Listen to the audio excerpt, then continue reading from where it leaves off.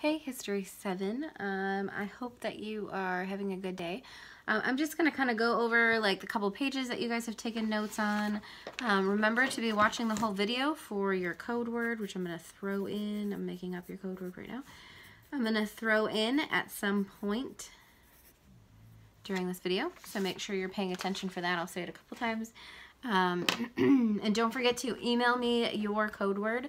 Um, remember, you need to watch any videos that I included. Um, these are videos that we normally watch in class. I'm going to talk um, fairly quickly. I don't want to get like too into things because I don't want you guys to have to spend 45 minutes sitting here listening and watching me because that's weird. I did print off some pictures that you can see as I'm going, I'll kind of hold them up. I was hoping I could switch and show you on my computer, but that didn't work. So um, that's kind of just the plan, and I'll do the same thing on Friday. Um, the big thing is that you guys have to be reading and taking notes and read the whole thing. Don't just like read and like, oh, I got my 15 facts, I'm done. You got to read the whole thing, okay? Because I am not going to go over everything. Um, and there will be some kind of a test when we're done. So um, it'll be a little different, but it will be a test. So uh, this chapter is all about the Industrial Revolution. Hopefully you guys, by the way, watched that history or history about that revolution that was Industrial Revolution. That was pretty cool um, for him to do that for us. So anyway, so this is the big thing about the Industrial Revolution is it's just this huge time of change. Um, just everything changes, things change quickly, um, life changes for everybody. It's just kind of a great time of adjustment and change as we go. Um, and it just kind of, there was this shift from everyone farming, everyone making their own stuff to now you could go and buy your things at the store. Not everybody had to farm because they have all these new technologies. Um, and then they have machines that start um, manufacturing and then you have factories. And um, so it's just kind of a neat um, time to be alive, I'm sure, for the people just because things changed. Um, now, first of all, um, we have an agricultural revolution, meaning things changed for farmers. Um, and it also helped bring up the food supply, which changes everything because if you have more control over the food supply, that means you also, just society is better, you don't have as much starvation, that kind of thing. One of the big things um, was crop rotation, where they started um, rotating um, how they uh, so the big thing is like corn is an example. It takes um, nutrients out of the soil, and so you need, to, and if you don't um, rotate crops, your soil ends up becoming so depleted that corn won't grow anymore. And so um, what they did is they learned, um, and this is why you see farms around here do it, is soybeans actually put those nutrients back in the soil. So farmers will either plant corn for a couple years and then switch, or they'll do like one year soybean, one year corn um, to put those nutrients back in. And so that's something they discovered. They also discovered fertilization, um, just like the importance of fertilizing crops and how much it helps, and then just also some different machines. Um, they also had a better understanding of animal breeding um, and just how that works and just how to take care of their animals better. And so that just kind of helped bring about modern farming. Now, um, because of the food supply going up, families could now have more children um, and they were needed to work on the farm. So it kind of is this rotating thing. These changes contributed to a very large British population. Um, it went from six and a half million to nine million between 1750 and 1800. So it grows very rapidly. Um, this also caused, so a lot of times back then, and that even this even happened in the United States, is just like land was open. Um, you could just kind of drift around. Animals drifted around. Um, and when this, um, a greater demand for food happens, farmers start enclosing their land um, and um, but this is what happens though. A lot of poor farmers could not support their families on these small plots of land that were left to them. And so they had to move and work in cities. And so that brings about a lot of change. Um, landowners also started to raise more sheep. Um, and their wool obviously was a big cash crop, meaning they made a lot of money on that. They obviously couldn't use all of that, but they could send that out. Now, sheep farmers, though, don't need as many workers. Um, and so because of that, that also caused... Um, people to move to the cities.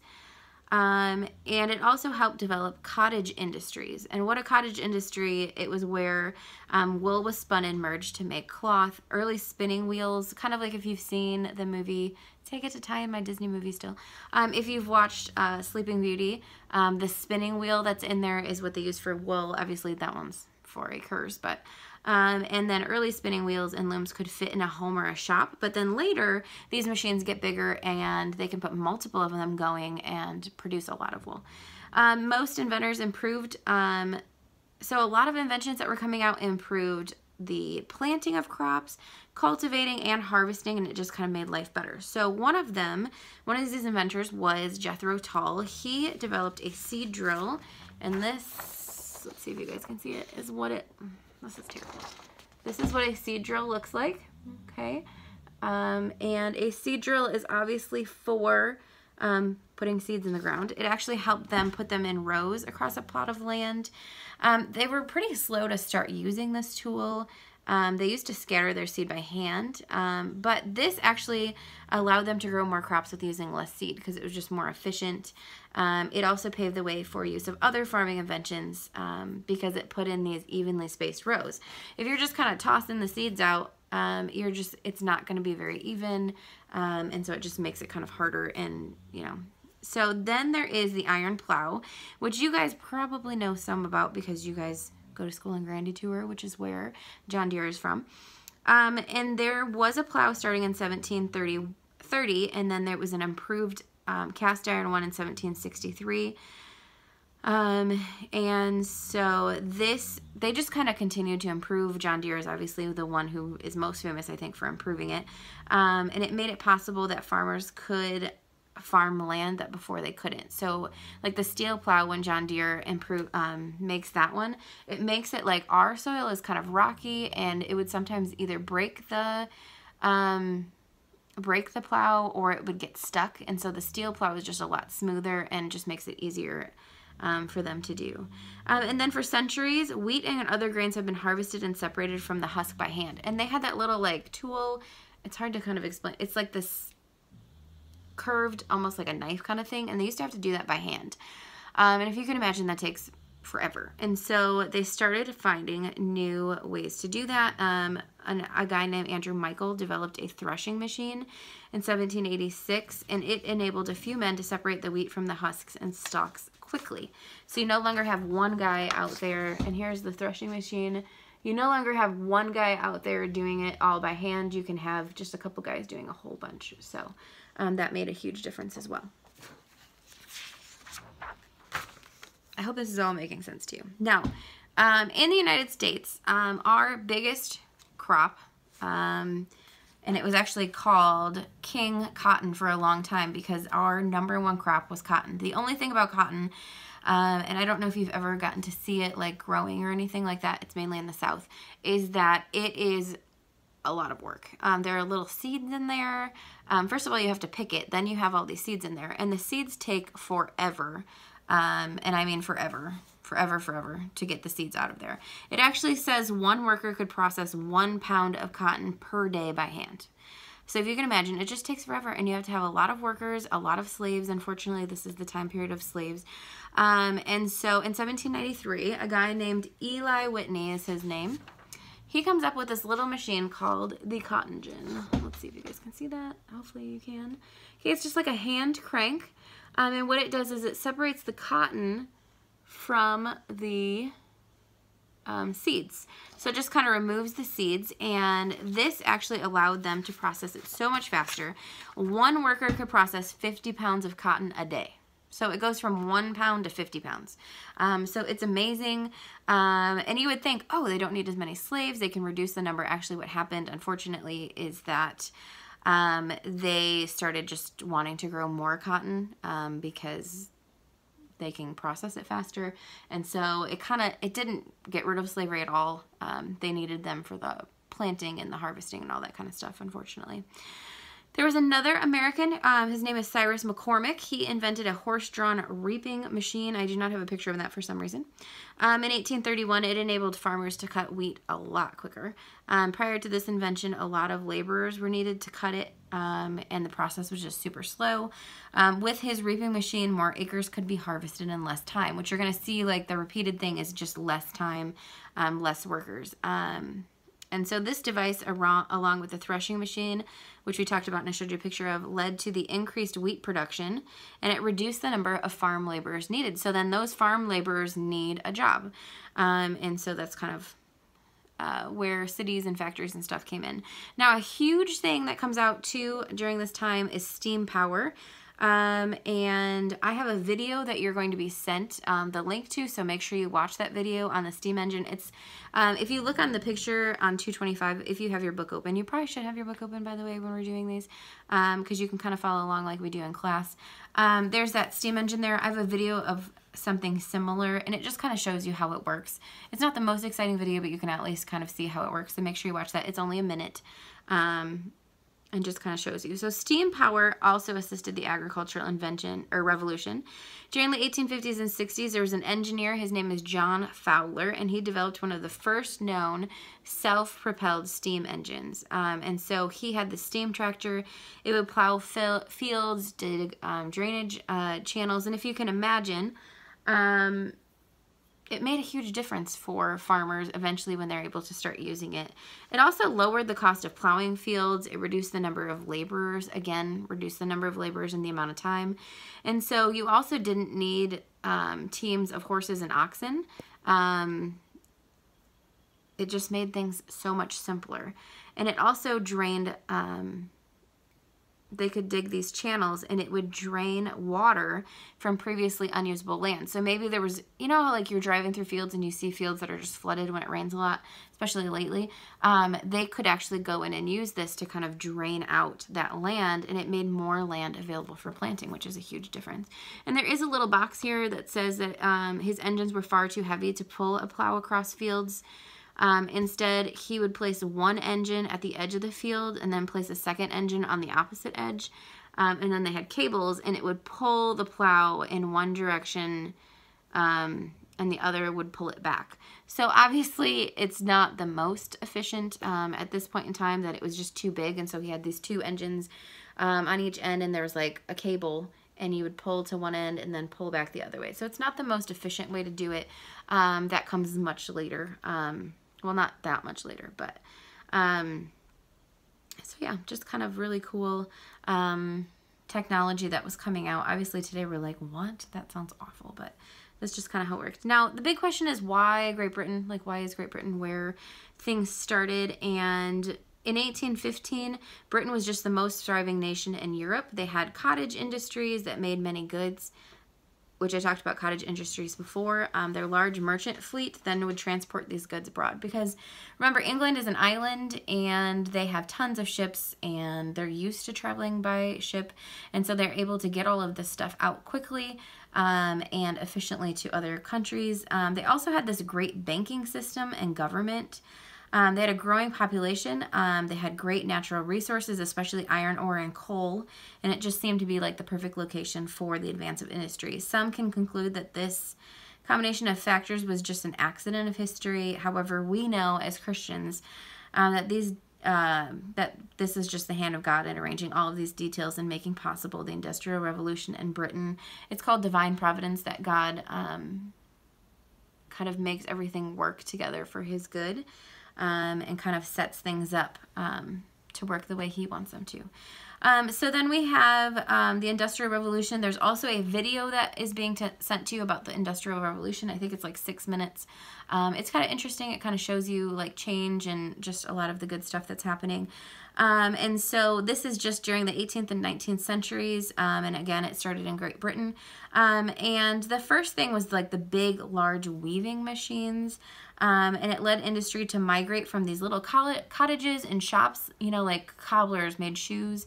Um, and you'd go to cobbler and be like, hey, I need a pair of shoes, and he would make you a pair of shoes. Now you can just go to a store and buy a pair of shoes that were made in a factory. Um, you know, kind of like today you go to a store and they have like size 6 through 12 of, you know, a certain shoe. Um, and then back then you used to go and say like, I need a 7. They would measure you perfectly um, and make your shoe. Now it's just streamlined. Everything's kind of done the same way. Clothes too.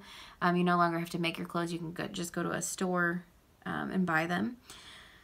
Um, and these shops were centrally lo centrally located. They were generally by water because um, they would start using water power.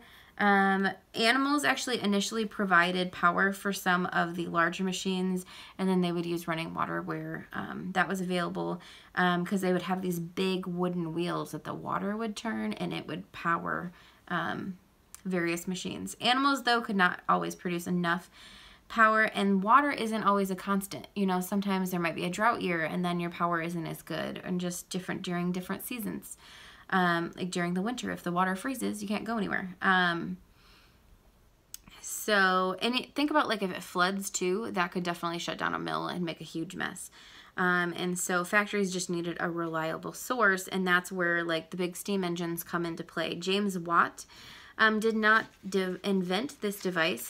He, can't turn the page, uh, made improvements. Um, and that's a big thing too, is that sometimes you'll see, well, this guy's credited, but he didn't actually invent it. Um, no, but he might have made the one that was good enough that everybody could use. So, um, you know, like, uh, making like the first one is super important, but also kind of like, um, Thomas Edison is always the one who's credited for the light bulb. He didn't invent the light bulb but um, he was the one who brought it to where, like the early inventions, you could turn on the light and then it would blow and that was it. Um, and so he made it so that way you could actually leave the light on um, and it wouldn't blow out. So um, that's why it's so important and that's why he's credited. So I just want you to understand that, that these guys sometimes just improved upon things. Um, and he made them that made it more efficient. Steam engines um, powered machines that had been driven by water or animals, so it was just more reliable. They could also pull heavier loads um, like tractors and locomotives, so trains start coming up through this time period as well. In addition, steam was used to power ships and even some very early automobiles. Um, steam engines provided consistent and reliable power. Um, that's the big thing is just consistent and reliable. Um, then there were some other very important inventors. John Kay um, is famous for the flying shuttle. Um, here's a picture of the flying shuttle. This little, oh my gosh, this little thing right here is the flying shuttle. Okay, and you can kind of see the big um, thing here, uh, which is a loom. This is a loom, and it has like a flying shuttle in it. Okay. Um, and so it's just this little device and he added it to a weaving machine and it could enable workers to weave the strands of cotton into cloth so much faster. Um, and it created a growing demand for spools of thread to supply to the weavers. And so then you have um, another need um, that they had to have thread quickly. And so James Hargreaves invented the spinning jenny, which was in 1764. Um, and this is a spinning jenny right here okay? I hope you guys can see this okay. I think you can. And so the spinning jenny could quickly spin many strands of cotton into thread. So it was just so much faster than what they had before. Um, as demand increased, then they started making even more machines to cl make cloth even quicker. Um, and so it was just kind of see a need, you fill the need with a new invention. Um, and so in addition, production of iron and steel also allowed them to make um, the metal needed for a lot of inventions as well.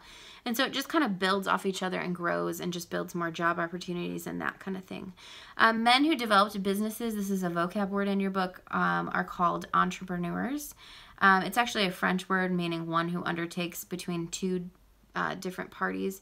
Um, they undertook to connect industry to the market, um, so businesses to um, people who could buy their stuff.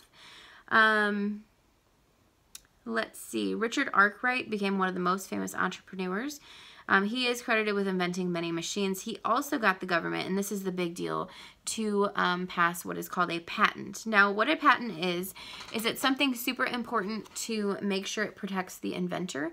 Um, because someone could, like, I could invent something and, like, go to sell it online, and then somebody sees it and is like, oh, I'm going to make the same invention. Um, and then I lose out because maybe they, you know, just put a different sticker and people see that one instead.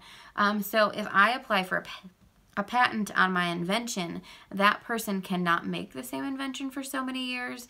And then after that, they actually have to pay me for my invention ideas. Um, and so he just kind of um, protected what he is making.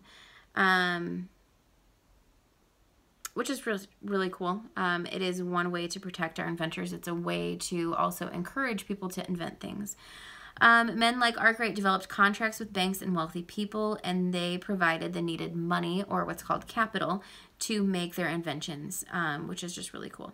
So, um, and it just kind of like is this circle. You make an invention, you sell things, you need another invention, somebody else makes an invention, it provides jobs, um, that kind of thing.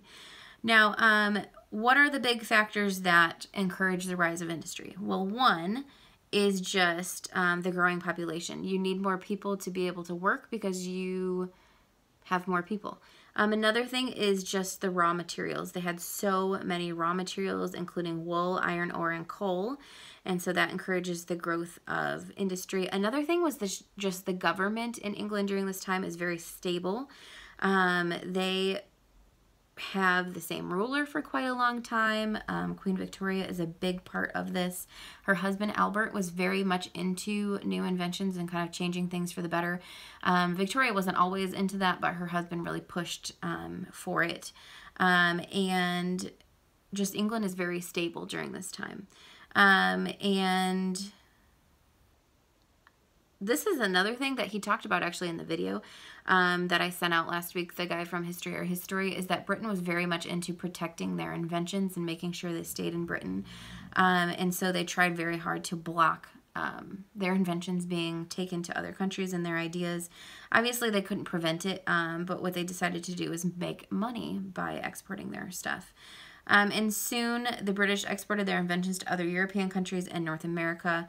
Um, British laborers would travel and kind of help them set them up. Um, and so it helped to really finance. Um, and they had like investors from Britain that would actually finance these factories in other countries.